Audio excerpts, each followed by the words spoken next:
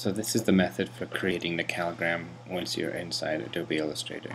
You should have the image of your animal placed inside Adobe Illustrator.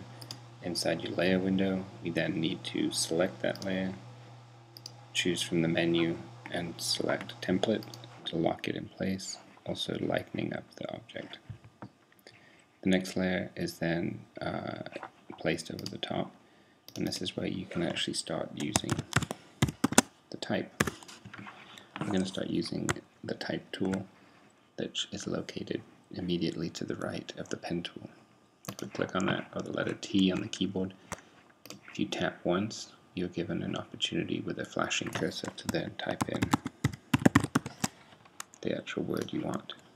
Don't be confused in thinking that you need to click and drag to create a shape, as this will create a text box you will then come across various different problems. The first being that in this circumstance, which is the correct way, we can actually click and drag, holding down shift and enlarging the text. In this circumstance right here, uh, let me just change the coloration of the layer real quick. In this circumstance right here, if I increase the box, decrease the box, the size of the text does not increase with it. So you will have a hard time getting this to work if you actually create a text box. Instead, I would rather you tap once and then be able to type in your words. So once we've actually got a couple of the words created, we then need to go choose a specific type of font. Couple things to keep in mind that will make a successful final image are that you actually choose a thick, bold font, one that is not very thin. So if we choose a bold version, right here, this will thicken up the actual thickness of the lettering and cover up more of the picture. The more of the picture you can cover up, the better the final result. A couple other good font choices will appear if you take a look, close look through them. Impact, right here, is another one. Another one after that you might want to try using is Rockwell Extra Bold. And that has a very bold appearance to it. So between the two you'll notice a big difference. These are very skinny, thin letters. These are very bold, thick lettering. Another one is Helvetica or Arial Black also. So you have a couple different font choices. Keeping it as capital letters, where they're all the same height, will also cover up more space. So try to reduce the amount of text you use in upper and lowercase lettering. Helvetica right here but then a bold version is also a good choice. Before we actually get started, the other part to be aware of is the spacing in between each letter. This is also known as the kerning, and that is this can be altered. So we can double click, place the cursor between the letter, hold down the option key, and then click the cursor keys to actually pull the lettering in closer to one another, covering up more of the picture behind. So you might want to actually adjust this some of your letters when the lettering gets too far apart from one another. You can also do this in one large amount so that it affects all the letters at once without double clicking onto a word. You just do it and apply it, holding down Option and using the cursor keys to tighten up the spacing in between each of the letters. Once we've actually got a couple words ready to place on the actual element. I would like you to refer back to your sketch work and note exactly where you were going to put the word, how big it's going to be, and how it's going to fold to the shape of the element. The next step is to use the Object tab at the very top, come down to where it says Envelope Distort, and Make with Mesh. Using this tool right here, we can actually change the shape of an object and we can actually define how many different anchor points are needed to actually change that shape. So for simplicity purposes, we can knock that down to one row and one column.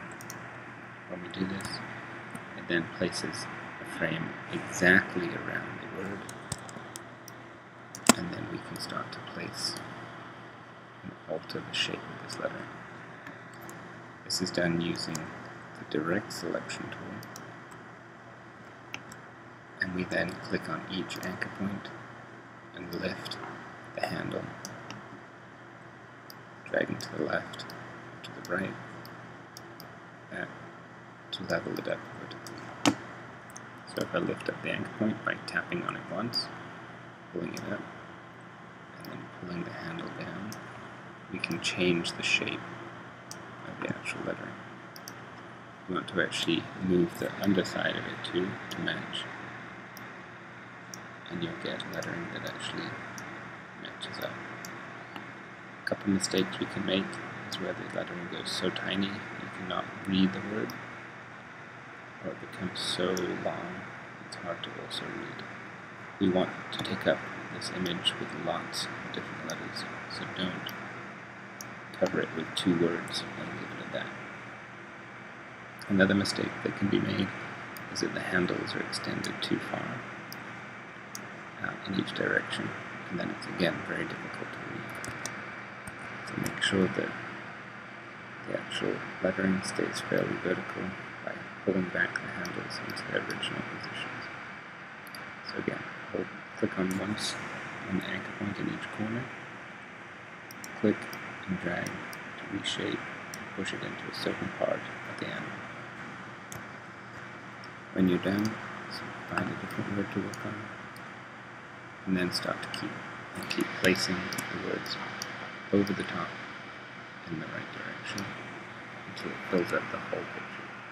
So object, envelope distort, make with mesh. I'm going to keep it at one row, one column.